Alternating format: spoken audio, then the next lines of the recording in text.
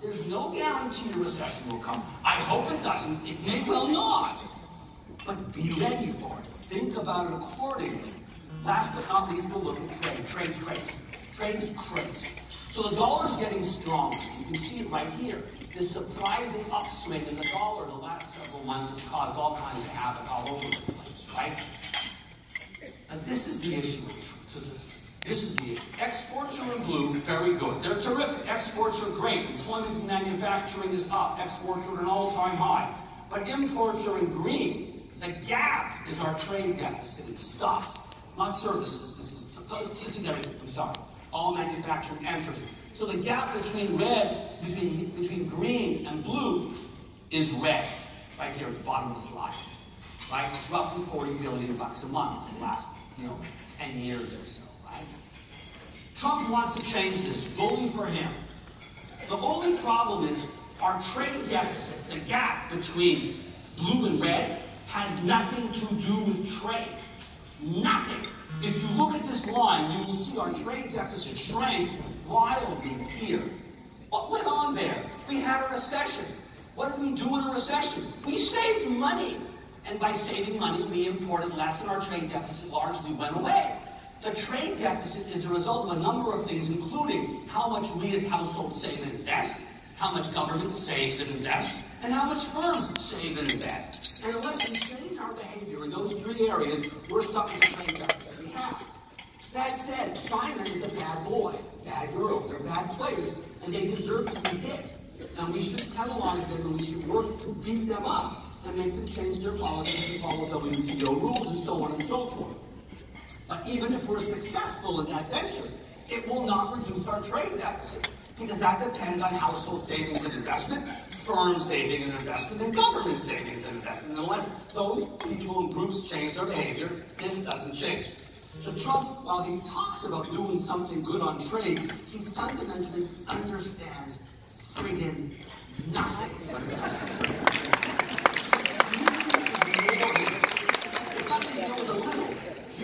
Trump, and there are many different ways. I'm not going to go there. But when it comes to trade, he knows nothing, and he hired probably the dumbest economist on the planet Earth, this guy named Peter Navarro, who I would gladly strangle if I could get away with it legally, but I can't. So I won't. Here's proof in the pudding of what I'm saying about trade. The total trade deficit's in blue, roughly 40 billion bucks a month. Our trade deficit in energy is in black. And notice, it got really big and then it really goes away. It's stupendous. It shrinks by 25 billion bucks a month. You would think that would drive down our trade deficit, but no, it can't. Because we're not changing our behavior as households, we're not changing our behavior as firms, and we're not changing our behavior as government. And therefore, our trade deficit is stuff, which is in red, precipitously declines. Because we're doing the same thing. We've rearranged the deck chairs on the friggin' Titanic. Sewing is rearranged them. We're not altering the number of vectors because we're not changing, we're not saving more money. Germany runs trade surpluses not because their cars are good, but because they save too damn much. Their roads stink, their infrastructure is horrible, but that's what they want. I mean, every country makes its own choices. We, we, we, we don't save enough, they save too much, whatever. But trade's not going to go away. And you can see here, when you impose trade tariffs, the winners are these few people who make the stuff that's tariffed, these are the people who buy the stuff. And then there's the consumers like us who buy a refrigerator or a beer can or a car that has them in it. There are a few winners and a lot of losers. Trade wars aren't good. This is not going to end nicely. This will not end Last but not least for this section, at least the world's doing well. The globe is doing really well. If you look here, there are no countries in recession. The 45 biggest countries aren't in recession. Brazil's kind of teetering, Argentina's teetering, Turkey's teetering. They're not that big. It won't really matter if they all go in recession. But the point is, the globe's doing pretty well. Not as good as last year, but still very good. And we're doing better than we were last year. Much better, right? So that's good news. This is GDP. It's okay. I'm telling you, it's going to be the best we've had. It hits 3%. That'll be as good as it's been in a long, long time, right? We had one little piece of 3% there. We'll have it again here. This is good news, no question. But why isn't it better? We used to go at 3% all the time. That's 3%. We used to do better than 3%. Why is it now we can only get there with stimulus and only for a short period of time, and then we'll revert to 2% after the stimulus is over come 2020? Maybe we end up in recession. Why? Why? What's so special? Why can't we do what we used to do? Well, GDP goes up for two reasons, my friends. Two, that's it. Only two ways to get GDP up. Blue is more people working. You know, you work, you, you do something, let's pretend you have a pizza parlor, you make pizzas, you hire more people, you make more pizzas. The other way to get more out of more stuff is to have the people you have make more pizzas per hour. That's productivity. That's red. That's it. You got blue and you got red. You add the blue and the red, and that's all you got. And you can see they both suck. A technical term, don't use it alone. Not with small children. Okay, why? Okay, I can talk about blue. The reason there's no, there's no, there's no blue is because there's no one that's 17, 16 years old enters a labor force. Why is that? I don't know. It's, I guess, fornication isn't as much fun as it used to be. I don't know, but it's just weird. But anyways, no people. Seems, you know, it wasn't a hard thing to do, but now we want to watch NFL football on Sunday, and we don't want to do what we do between whatever. In terms of green, red, I'm not sure why. Economists struggle to understand what goes on with labor productivity growth, but we know the tax cut should hopefully increase investment in plant and equipment. That should hopefully boost red. But either way, they're not great numbers. If you add those two up, you get GDP. In the long run, GDP is 2%. For the next couple of years, it can be 3 or close to 3. 3 this year, maybe 2.7 next year, 2.6, whatever, better than it was this past year. And then we're back to normal. If you don't go into a recession first, and then we go back to normal. Because we don't have the horses to do better than this. That's just what we can do. Last but not least, there is no recession near going on at all now. None. Zero, zero, zero. This is contemporaneous data. You have to get to negative one on this index, which is right there, before you can think about having a recession. And we haven't been there since the end of the recession. This notion that we're going to be in recession soon, no. The policy's probably going to drive us into recession. Recessions don't die of old age. A recession dying of old age is akin to this kind of thinking. What's your name? Robert. Robert wakes up, you know, you worked at your job 10 years. You say, you know what? I've worked 10 years. I'm freaking done. I'm tired. I'm not working this month. Who cares? Would you do that? No, you lose your house, lose your car, lose your boyfriend, girlfriend, pets, animals, whatever. That's the equivalent. No, why did you go into recession? No, you keep going. But there's policy mistakes and things that happen, and we'll get to those in a few, few seconds. But right now, no problem. How about this? This is a yield curve inversion measure. It's my favorite measure of recession. What it looks at is the difference between, in this case, 10-year treasuries and one-year treasuries.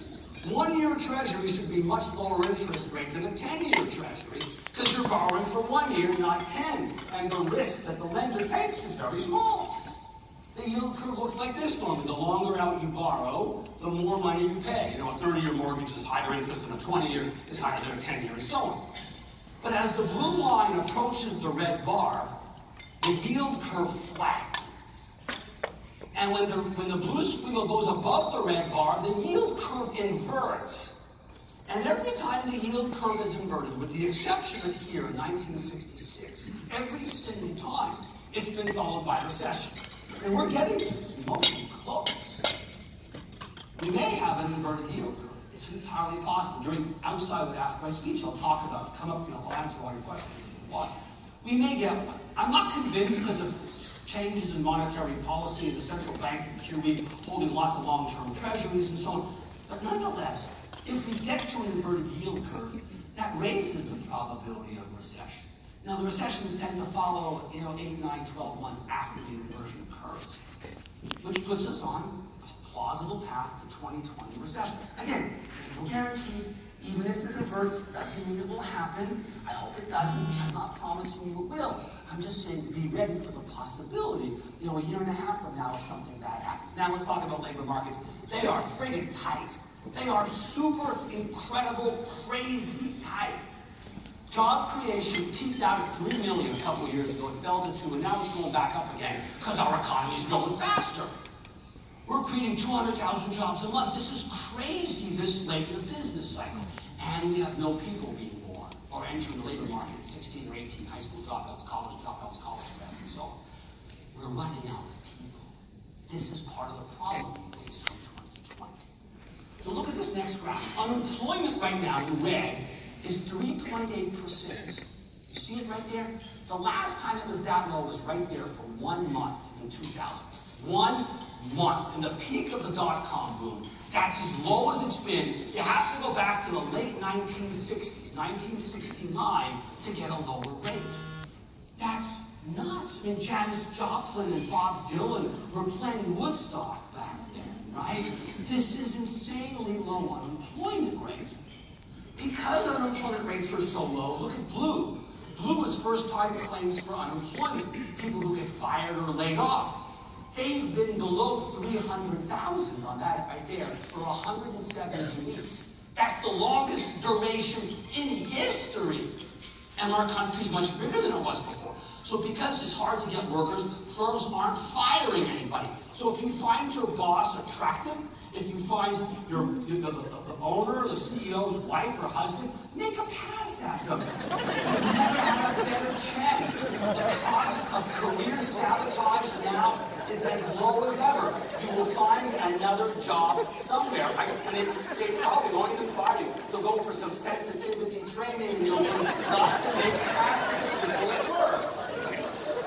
I'm kidding, okay? You have to understand. I have to say that, otherwise I'll get sued or something. Right? Or so something. The problem is, because no one's being born and we're not getting enough people into the labor force because of procreative activities of 20 years ago, the only way we got so many workers into the labor force, this 2.2 million a year, was to run down the unemployment rate and pull people off the couch into the labor force. But how much lower can it friggin' go? If it falls four or five tenths of a point more, we'll be at the lows we had in the early 50s with the Korean War, when the soldiers were in Korea. I mean, this is insane. That's 60 years ago. Labor markets are super, super tight. Here's another graph to show you. This is number of job, available jobs, people hunters, I mean, people hunting divided by number of jobs. So at its worst, up there it was seven. That means there were like seven million unemployed people divided by a million jobs. For example, you got it? You with me? Well, look at the number today. It's below one.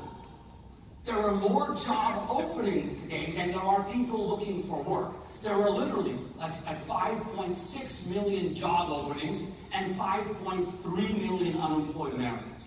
There's a job for everyone. That's full employment. Of course, they have no skills.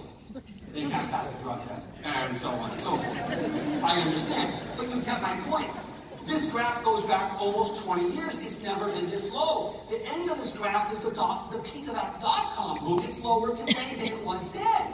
I mean, this is a really tight labor market, and that's part of the problem. You don't need to stimulate an economy that's already booming, right? We're booming. Unemployment's super low. You don't need to put gasoline in tax cuts. You want to actually raise taxes and calm it down, so the central bank has to raise rates to calm it down. Here's another graph. I'll show one another graph here. This is three ways to look at unemployment. There's the unemployment rate in blue, in red, uh, green, I'm sorry, green. There's people working part-time who want to work full-time.